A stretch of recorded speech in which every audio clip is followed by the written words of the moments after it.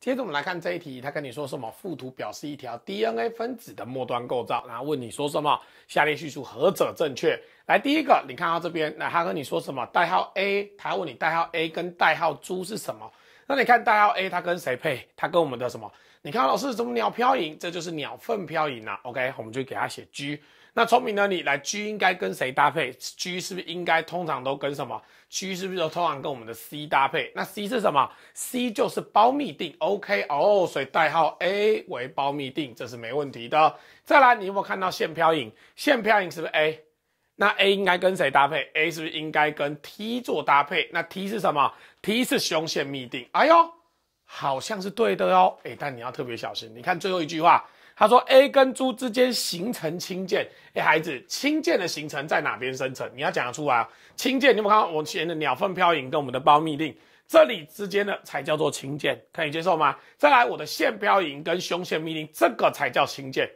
而我们今天 C 跟 T 之间会不会去生成氢键？这里是不会发生的，可以接受吗？这里是不会发生的。OK，我今天是怎样？我的含氮碱基是彼此互补。”互补才会发生的，而我们今天上下之间的含氮碱基是不会相连的，请你小心。所以这里 A 猪之间会形成氢键是错的，你要记得我的 C 是跟 G 形成氢键的，我的 A 跟 T 才会形成氢键，你要特别小心。OK，好，所以 A 选项不能选哦，错在这句话。再来，B 接在 C 的五号碳位置上，来，我跟你讲，这个圆形、圆形、圆形、圆形、圆形的，就是我们讲的磷酸基。那磷酸基接在几号碳上面？你要记得哦，我这一个方向是正向的，那对面是不是反向的？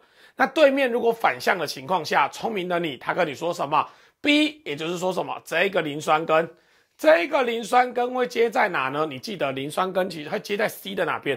磷酸根都接在几号碳上？你如果不知道的话，你要特别再去把核苷酸的一个构造再把它看熟，它会接在第三号碳上面。OK，好，所以这个帮我写上三号碳。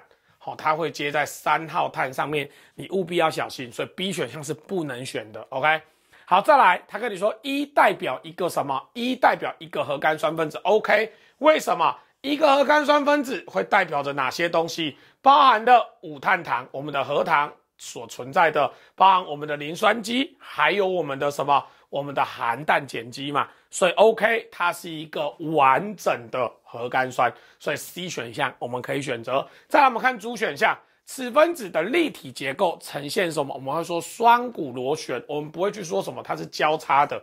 基本上，如果你把它解开。你如果把它解开，它形成的也是什么状态？也是平行状态嘛，从来就没有什么交叉形式，它顶多就是两条平行的，然后我们把它缠绕在一起罢了。所以这里的交叉是错误的。再来，我们看一选项，此 DNA 的两股会是相反的，没错，这应该你要讲得出来。基本上，如果一一端是五 pron 往三 pron 的话，那另外一端就会是什么？另外一端就会是三 pron 到五 pron，就是比如说说这里是五 pron，这里是三 pron。